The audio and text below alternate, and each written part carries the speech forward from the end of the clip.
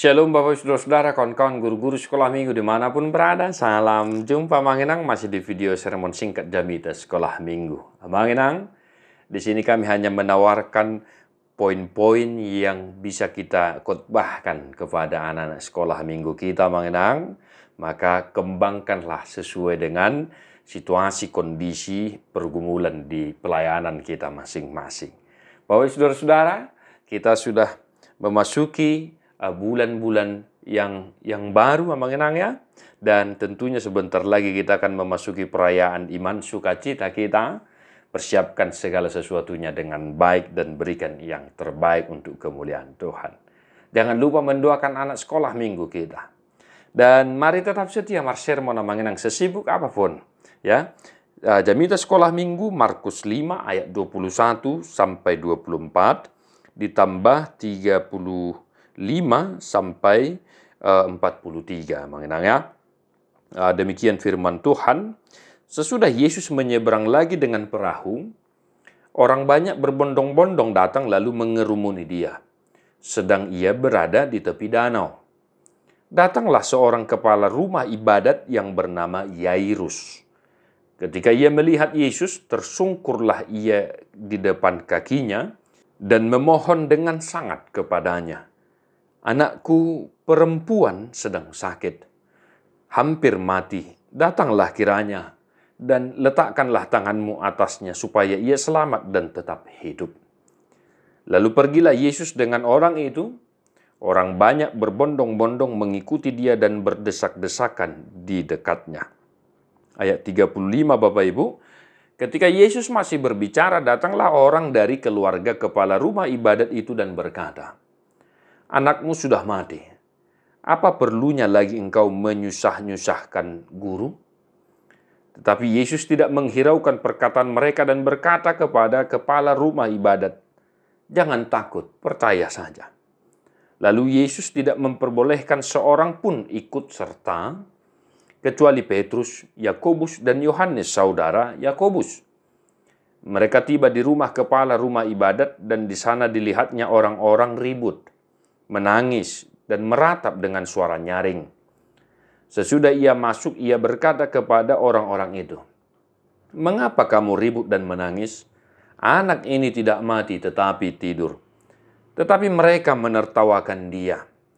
Maka diusirnya semua orang itu, lalu dibawanya ayah dan ibu anak itu, dan mereka yang bersama-sama dengan dia masuk ke kamar anak itu.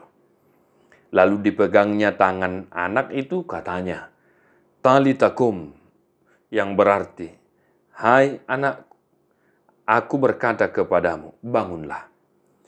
Seketika itu juga anak itu bangkit berdiri dan berjalan, sebab umurnya sudah 12 tahun. Semua orang yang hadir sangat takjub dengan sangat ia berpesan kepada mereka supaya jangan seorang pun mengetahui hal itu lalu ia menyuruh mereka memberi anak itu makan.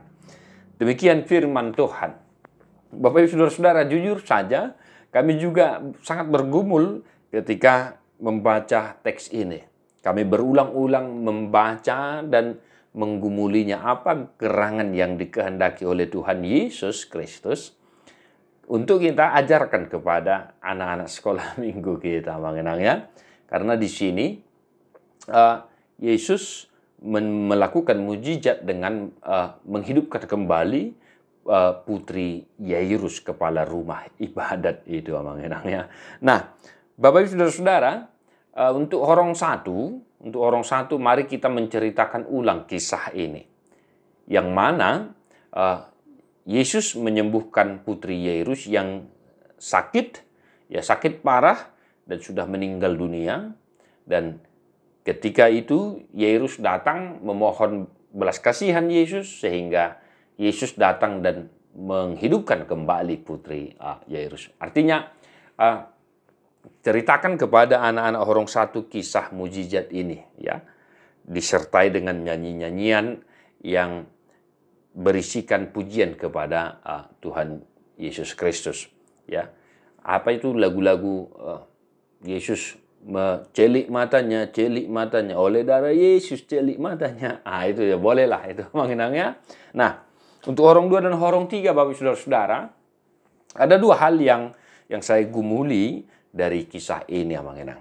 Yang pertama tadi di sana dikatakan, Yairus datang dan tersungkur dan memohon dengan sangat. Dia tersungkur ke, di hadapan Yesus dan memohon dengan sangat. Nah, ini Amang Enang uh, menjelaskan, memperlihatkan kepada kita bagaimana sebenarnya ekspresi kita ketika kita memohon sesuatu kepada Tuhan.